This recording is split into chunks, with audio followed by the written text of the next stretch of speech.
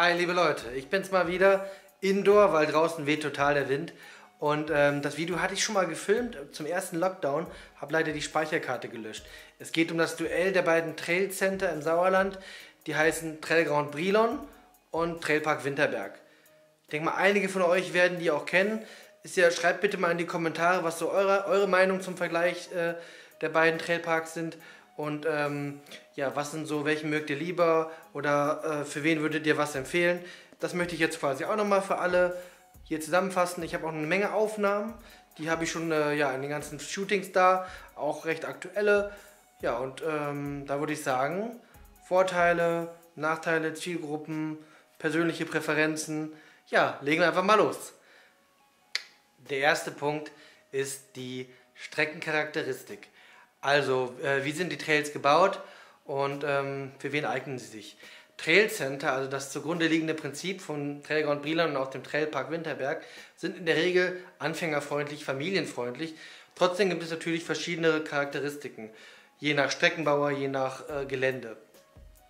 Der Trailground Brilon ist wirklich sehr anfängerfreundlich, weil natürlich wie bei jedem Trailcenter wenig Höhenmeter, ähm, schön florige Strecken,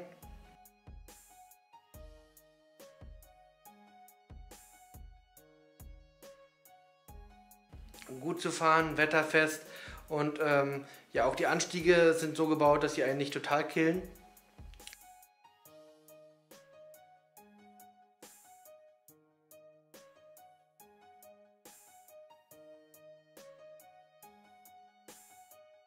Ja, deswegen äh, würde ich natürlich sagen, ähm, im Vergleich Familientauglichkeit und Anfängertauglichkeit von der Streckencharakteristik finde ich den Trail Grand Brilon besser geeignet. Ähm, Im Trailpark Winterberg ist es so, da gibt es auch leichte Strecken, aber ähm, auch schwere mit Wurzeln und so weiter.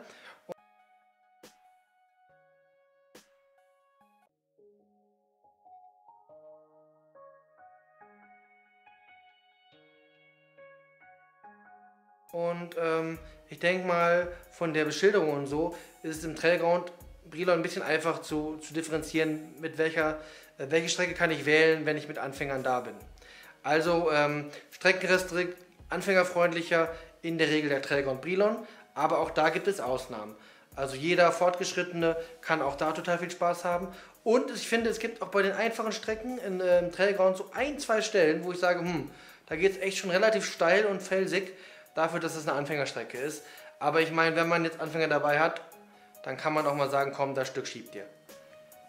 Wenn wir uns die Strecken nochmal im Vergleich angucken, vom Trail Grand Brilon und vom Trailpark Winterberg, ist es so, der Trail Grand Brilon ist eigentlich durchgehend mit so einem Streckenbelag belegt. Ähm, das ist so eine Art Brechtsand, das kennt man eigentlich von Bikeparks. Aber es ist trotzdem nicht so völlig reine, ähm, ich sag mal, Murmelbahn wie jetzt ein Flow Trail. Ähm, alles nur total allglatt, sondern da kommen schon die, die Felsen, die Steine vom Boden raus.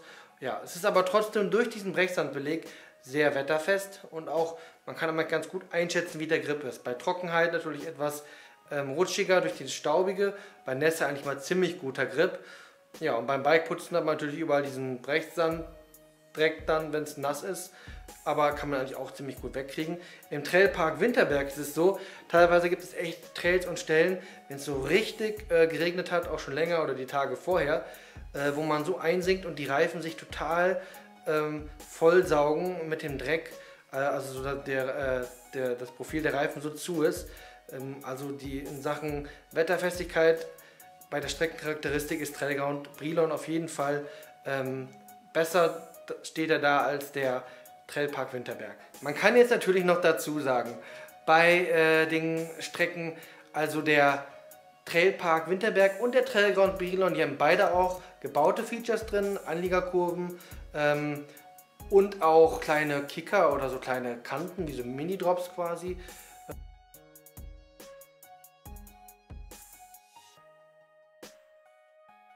Ähm, aber beides nichts Weltbewegendes. Ich sage mal so, ähm, die Schwierigkeit dieser relativ einfach zu fahrenden Strecke steigt halt immer mit der Geschwindigkeit. Das ist ganz klar. Also jemand, der sehr fortgeschritten ist, der kann halt da ziemlich heizen und dann wird es natürlich auch schwieriger, immer auf der Linie zu bleiben. Ähm, wer jetzt total äh, das technische Abenteuer sucht, wird natürlich in einem Trail Center in der Regel nicht fündig werden. Es gibt vielleicht in England Ausnahmen, die auch noch mehr Levels an, äh, ansprechen, aber generell sind Trail Center ja einfacher gebaut. Gut, das heißt, ähm, diese gebauten Features sind ja auch ganz nett gebaut. Ich finde ähm, die Anliegerkurven im Trailground ein bisschen seltsam. Ähm, fahren es nicht so flowig wie jetzt in einem Flow Trail in Willingen oder so, aber eigentlich auch trotzdem ganz cool und natürlich schön wetterfest, auch schön hoch. Aber für Anfänger auch schon so hoch und steil, dass sie sich da gar nicht so reintrauen. Und dann fahren sie dann unten, da wo dieser Sand dann ist und äh, sind dann auch oft so ein bisschen am Rutschen. Naja, sagen wir so, sind aber trotzdem ganz cool. Der Trail Achterbahn finde ich ziemlich gut da mit den Anlegerkurven. Und die Kicker, die sind meistens halt ohne Landhügel, also einfach so ein kleiner kleine Kante, die kaum kickt, äh, eher wie so ein kleiner Mini-Drop, aber ohne Landung. Also jetzt auch nicht so spannend für Fortgeschrittene, aber dafür für jeden halt machbar. Und es gibt auch einen mit einer kleinen Landung. Also generell ist eigentlich schon ganz, ganz spaßig. Und im Trailpark Winterberg, äh, die Features, die ich da so kenne, sind eigentlich auch ganz, ganz schön, halt nicht so wetterfest.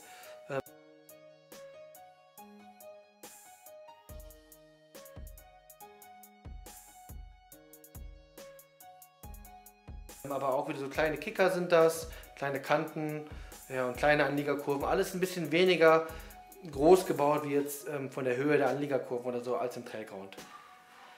Also ich würde mal als Fazit sagen, ähm, das ist natürlich Geschmackssache. Ähm, die Streckenbrauer äh, in äh, Brilon hatten mehr Erfahrung, finde ich, haben es deswegen besser, flüssiger gebaut vom Fahrfluss. Ähm, Im Trailpark Winterberg fand ich es gerade am Anfang echt gewöhnungsbedürftig, was die Kurven angeht. Also der Streckenbauer dort äh, scheint mir nicht vom Fach zu sein, habe ich auch gehört, dass das ein Landschaftsgärtner war. Weiß ich jetzt nicht, kann ich nicht bestätigen. Ja, aber das wurde auch ausgebessert und äh, da will ich gar nicht so auf hohem Niveau meckern. Ähm, ich finde auf jeden Fall ähm, den Träger Brilon von der Streckencharakteristik anfängerfreundlicher, wetterfester und ähm, abwechslungsreicher. Aber der Trailpark Winterberg hat auf jeden Fall auch so seine Reize und wirkt vielleicht zum Teil etwas natürlicher durch diesen Lebenuntergrund.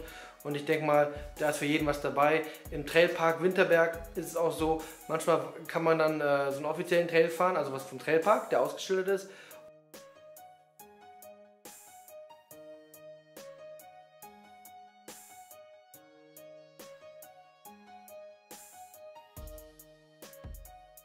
Und dann geht noch ein Trail daneben, der ist zwar dann eigentlich ein Wanderweg, aber wenn da jetzt nicht viele Wanderer sind, der ist ja nicht verboten zu fahren, da kann man den mitnehmen und hat vielleicht ein paar mehr Wurzeln oder so.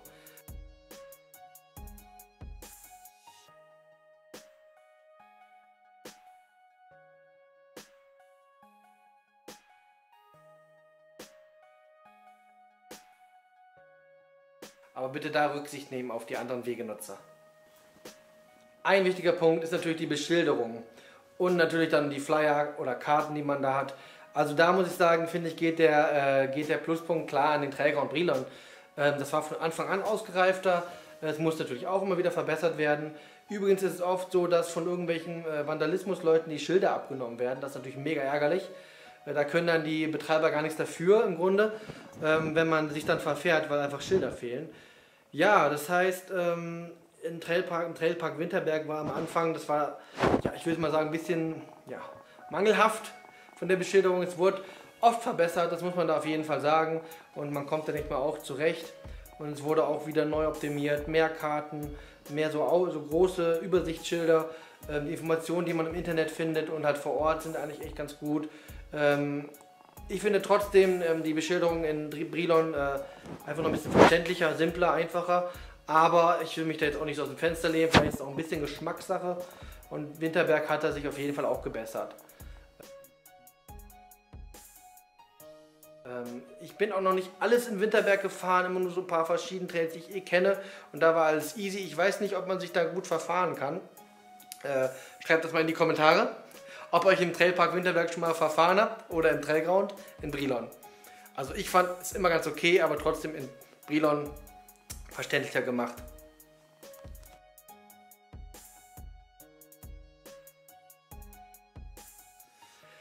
Ein Thema ist natürlich auch die Infrastruktur. Das heißt, ähm, wie sind die Parkplätze, gibt es Toiletten und so weiter und so fort. Also ich finde, da tun die sich nicht so viel. Es, ähm, es kann sich ein bisschen tummeln am Träger und Brilon, weil da ist eigentlich alles am Landgasthaus groß, was ich auch echt cool finde da. Aber ähm, die haben auch, man muss sagen, sie haben es ausgebaut. Aber trotzdem an einem vollen Tag, ähm, dann sind die Parkplätze sehr voll. Keine Sorge, auf dem Trailground äh, verteilt sich das wieder. Man hat nie das Gefühl, dass der Trailground, die Trails irgendwie total voll sind. Aber wenn man am Parkplatz steht, denkt man, uh, okay, schon ziemlich voll. Ja, ähm, beim Landgasthof Gut gibt es natürlich auch Toiletten. Ja, und der Nähe Campingplatz. Ähm, da, ja, da ist auch ein Pumptrack, ein kleiner. Ähm, also ich würde sagen, die Infrastruktur ist schon gut. Und ähm, natürlich in Winterberg kann man sich natürlich nicht beschweren über die Infrastruktur. Die ist ja für Touristen ausgelegt. Das heißt, es gibt Toiletten, gibt Parkplätze. Man kann direkt in den Bikepark gegenüber. Man kann die Kinder äh, auf die trockene Sommerrodelbahn schicken. Also ich denke mal, da gibt es einen Pluspunkt für Winterberg, dass man, wenn man eine Familie hat, dass man die Kinder besser beschäftigen kann oder generell. Also da ist echt viel zu äh, also viel zu ja, viele Möglichkeiten. Deswegen Infrastruktur sowohl in Brilon als in Winterberg sehr gut. Kleines Plus an Winterberg, weil noch mehr Sachen und Möglichkeiten auf engem Raum sind. Genau. Aber tut sich auch nicht viel. Der letzte Punkt, ähm, den ich jetzt sagen möchte im Vergleich Trailground Brilon versus Trailpark Winterberg, ist ein bisschen die persönlichen Vorlieb, persönlichen Prioritäten. Und ähm, ich mag ja am liebsten äh, ganz normale Trails im Wald, also die nicht gebaut sind. Ähm, aber ich muss sagen, ich war auch ein Jahr, war ich beruflich ziemlich viel in Brilon ähm, bei Liquid Life und das war eigentlich eine coole Zeit und äh, ich bin aber danach eigentlich immer nach Hause gefahren, ich bin natürlich Vater geworden und so und die Kollegen sind im Trailground Brilon immer noch Trails abgesurft. Also das ist echt cool, wenn man äh, so richtig schön flowige Trails in einem Fleck hat, äh, obwohl sie ähm, gebaut sind. Ich finde, sie fühlen sich auch noch ziemlich gut an. Also die persönliche Präferenz Träger und Brilon mag ich die Strecken lieber. Meine persönliche Präferenz bei ähm, Trailpark Winterberg ist natürlich, ich kann das so gut verbinden, äh, weil ich mag auch gerne immer mal ein bisschen Bikepark fahren. Ein paar schöne Drops machen, äh, den Flow Trail, die Freeride-Strecke. Also das ist ja direkt äh, in, einem, in, einem, in einem Gelände, Trailpark und Bikepark Winterberg.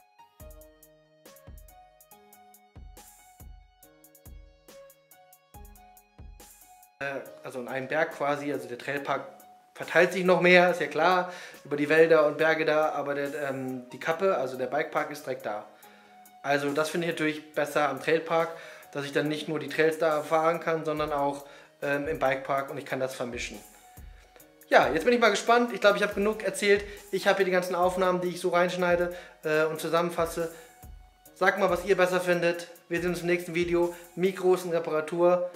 Ich habe jetzt laut gesprochen, ich hoffe der Ton passt. Wir sehen uns, bis dann.